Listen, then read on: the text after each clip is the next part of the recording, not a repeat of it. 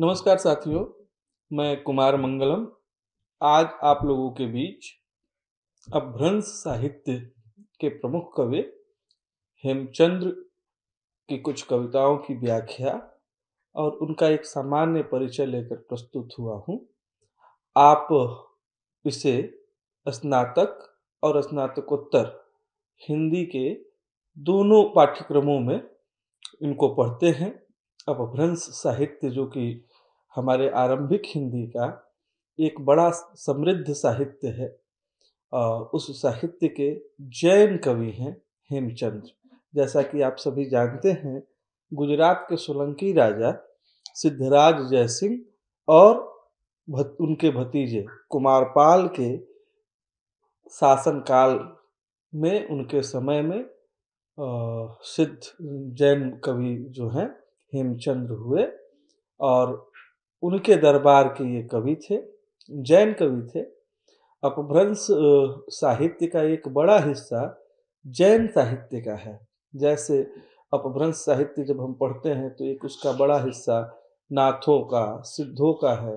वैसे ही जैन साहित्य की भी एक लंबी परंपरा वहाँ है और हेमचंद्र को हिंदी का आदि कवि कहा जाता है। व्याकरणाचार्य भी थे।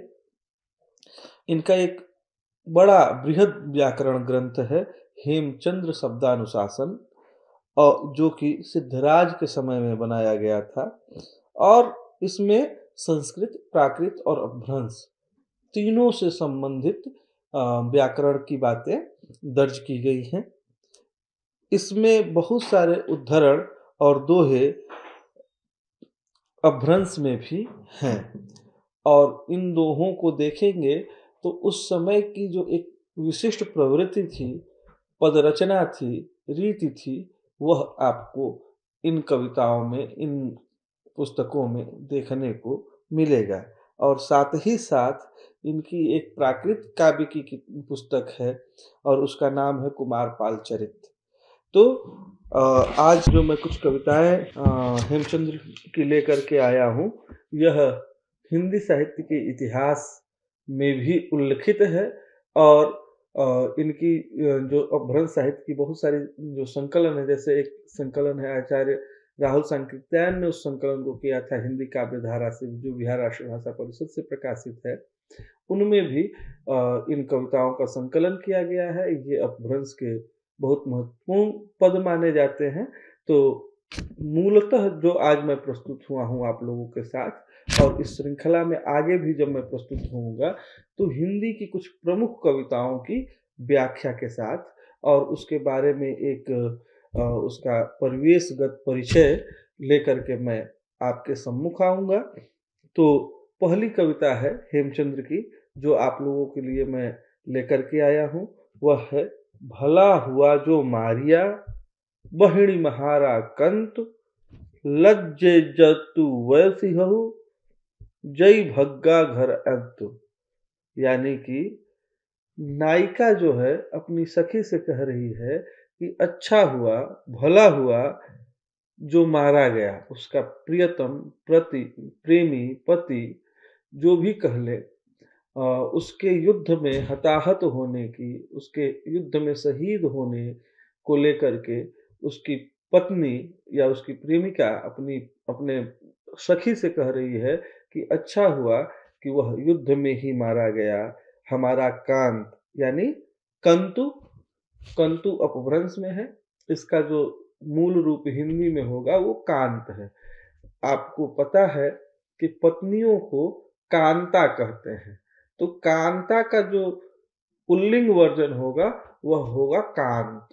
तो भल्ला हुआ जो मारिया, बहिड़ी महारा कंतु, जो बाहर, बहड़ी यानी बाहर। तो अच्छा हुआ जो वह बाहर ही, युद्ध में ही मर गया। लज्जे जम तू वयस यहू, जय भागा घर अंतु। अगर वह युद्ध से समर में डर करके या ऐसे भाग करके आता तो मैं अपनी समवयस्काओं में, अपनी सखियों में अपने समाज में बहुत लज्जित होती। तो आप देखें कि यह कविता अपभ्रंश साहित्य के समय की अगर इतिहास की दृष्टि से देखेंगे तो उस समय छोटे छोटे राजाओं के युद्धों का भी समय है। और वहाँ की जनता युद्ध में भी जा रही थी। तो कविता अपने समय का एक स्थानापन्न रचती है, एक ऐसे इतिहास को दर्ज करती है, जो इतिहास में बहुत सीधे सीधे नहीं भी कहा, साहित्य में जिसे सीधे सीधे नहीं कहा जाता, लेकिन आप उसके रास्ते, उन सूत्रों को तलाश करके उस समय के इतिहास को भी, उसके समानांतर इतिहास को भी समझ सकते हैं। तो हेमचंद्र लिखते हैं भल्ला हुआ जो मारिया, बहड़ी महारा कंत, लज्जे जम तू वयस यहू, जय भग्गा घर अंत। अगर हमारा प्रेमी, हमारा पति, हमारा कांत अगर युद्ध से डर करके, भाग करके, लौट करके आ जाता तो हम अपनी समवयस्काओं में, अपने समाज में, अपने लोगों में बहुत लज्जित होते। इससे अच्छा हुआ कि वह मारा गया यानी शहीद हुआ और कम से कम शहीद होने का, शहीद की प्रियतमा होने का, पत्नी होने का जो गौरवबोध है, वह इस कविता में दर्ज है। आगे एक कविता है, जई सो न आवई दुई, घर का ई अहु मुह तज्जु वयड़ू जखंडई तौ सहिए सो प्यू हो न मज्जु। यानी कि, हे दूती, यदि वह नहीं आता तो तेरा क्यों अधोमुख है? हे सखी, जो तेरा वचन खंडित करता है, अगर इसका श्लेष में दूसरा अर्थ लें तो जो तेरे मुख पर चुंबन द्वारा छत करता है, वह मेरा प्रिय नहीं है। आप जानते हैं कि हमारे साहित्य में एक बृहद प्रसंग है नायक नायिका भेद का। और उसमें कई तरह की नायिकाएँ होती हैं। तो यहाँ पर प्रेमी और प्रियतम।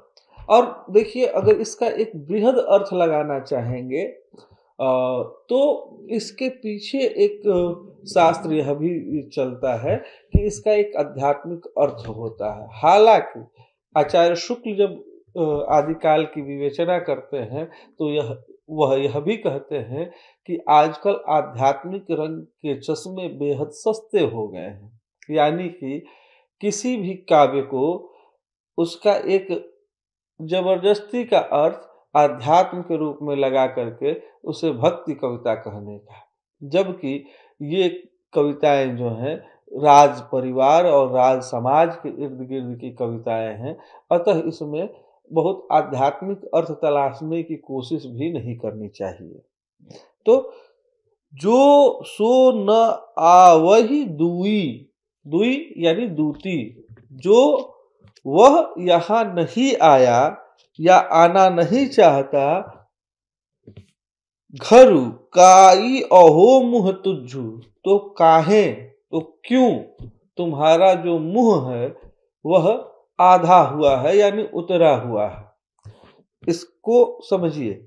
काई, को अहोमुह अधोमुख अपभ्रंश व्याकरण के बारे में जिस दिन मैं चर्चा करूँगा तो आप लोगों के समक्ष यह भी बताऊँगा कि शब्दों ने अपने रूप परिवर्तन कैसे किए? प्राकृत में, पाली में, अपभ्रंश में, हिंदी में, संस्कृत में ये शब्द कैसे यात्रा करते हैं? और जब अप, अपभ्रंश का एक अर्थ आप सभी जानते हैं बिगड़ा हुआ होता है। तो इसमें बहुत सारे शब्द ऐसे हैं जो बिगड़े हुए हैं। तो आपको जब अपभ्रंश पढ़ते हुए उन शब्दों के नज़दीक जाना होगा उस पर बातचीत करनी होगी उसे देखने देखना होगा कि यह शब्द कौन से हैं। जय सो न आवही दुई जो यदि वह घर नहीं आया तो तेरा मुँह क्यों उतरा हुआ है? वयणु जो खंड तो सही है। क्या तुम्हारा वचन खंडित हो गया है?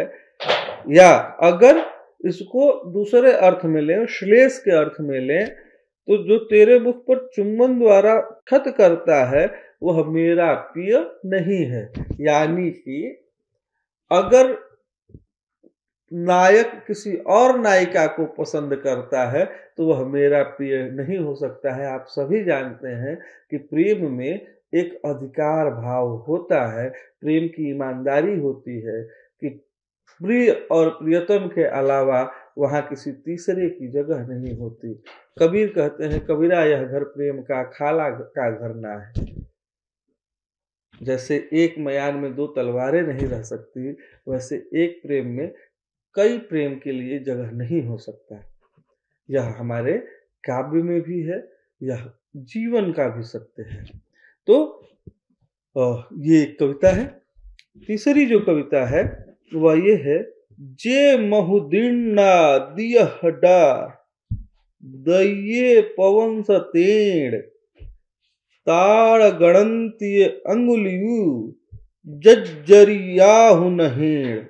यानी कि जो दिन या अवधि में, यानी दिए हुए समय में प्रिय ने प्रवास से जाते हुए दिए थे, उन्हें नख से गिनते गिनते मेरी उंगलियाँ जर्जर हो गई इसको फिर से समझिए।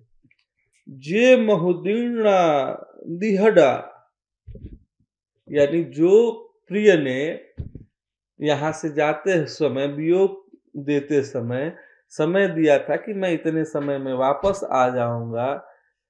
उसके विरह में, उसके इंतज़ार में अपने नाखूनों पर गिनते गिनते नाखून घिस गए हैं और उंगलियाँ जर्जर हो गई हैं।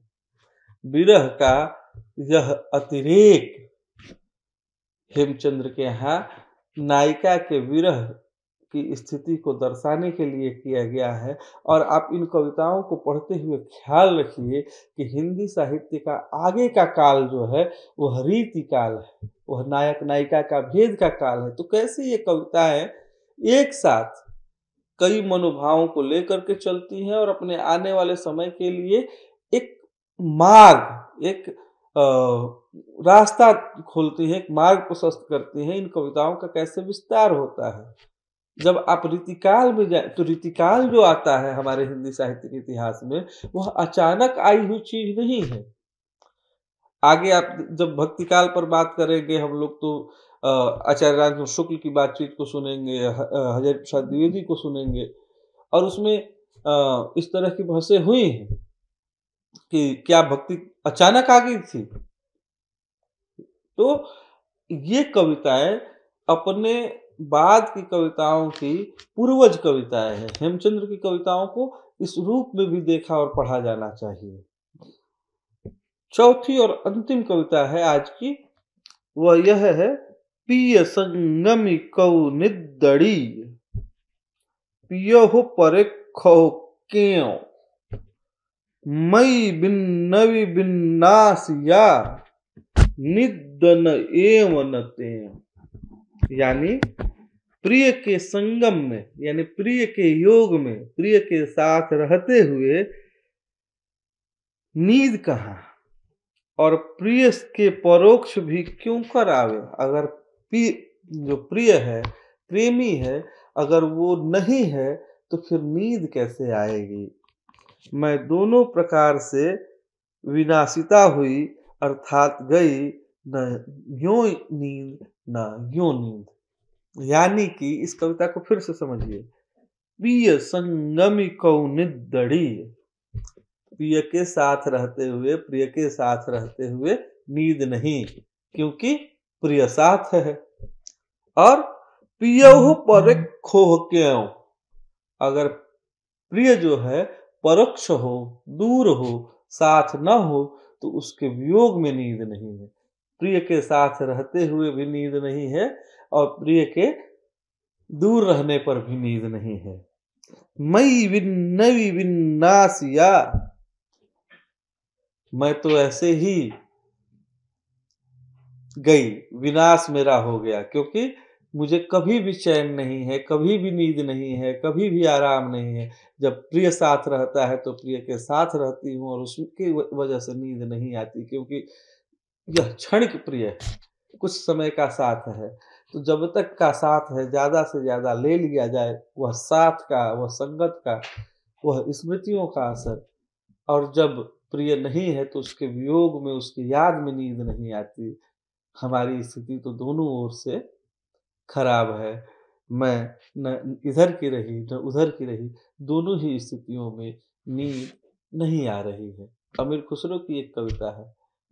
खुसरो बाजी प्रेम की खेली पी के संग।